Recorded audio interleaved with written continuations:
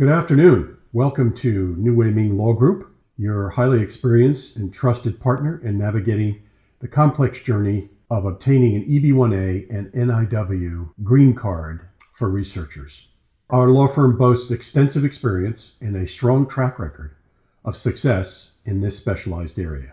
Today, we're here to guide you through the essential steps and documents required to begin your application process. The first part focuses on evidence of research accomplishments.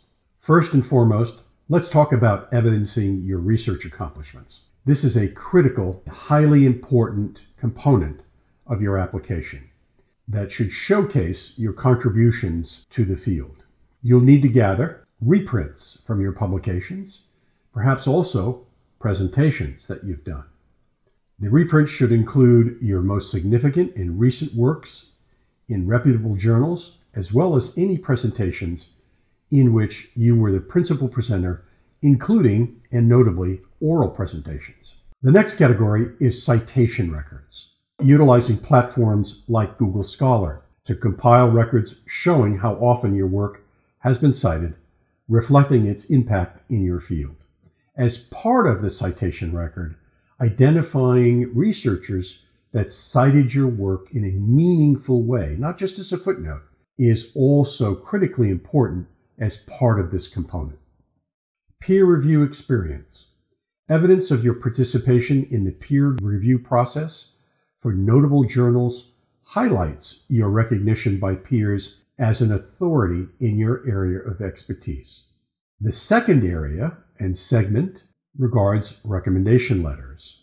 The next step involves gathering uh, useful, well written recommendation letters, which we do on behalf of our clients. These letters should come from scholars who can attest to your research's significance and your contributions to the field. Here are some tips in identifying these important referees. Identify scholars. These individuals should be well respected in your field and familiar with your work. Try to find several referees who have cited your work in a meaningful way and are independent. Meaningful means substantive, not just a footnote. Diverse perspectives. Identify individuals. Consider including a mix of colleagues from both within and outside of your immediate working circle to provide a broader review of your impact.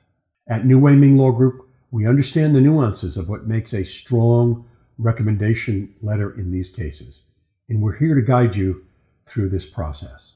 The third area is your research statement. You'll need a research statement to support our efforts in drafting the petition for you. While this does not need to be overly detailed, it should effectively communicate the essence and significance of your work. Highlight the important contributions and accomplishments that your work brings to the field and contributes to the field. Here's what to keep in mind length and content. A few pages are usually sufficient. Focus on summarizing your research contributions, as I indicated, major accomplishments, their significance, and what are your future goals in these areas. Clarity is key. Remember, the audience is diverse. Not everyone might be an expert in your field. And again, we're using this information in part to prepare your petition that will be reviewed by United States Citizenship and Immigration Services officers who do not necessarily have a background in many areas of science.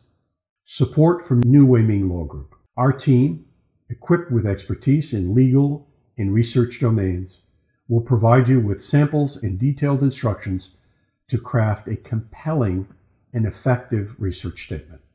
In conclusion, embarking on the EB1A or National Interest Waiver Green Card application process can be daunting but with our help from New Weiming Law Group by your side, you're in very capable, experienced hands.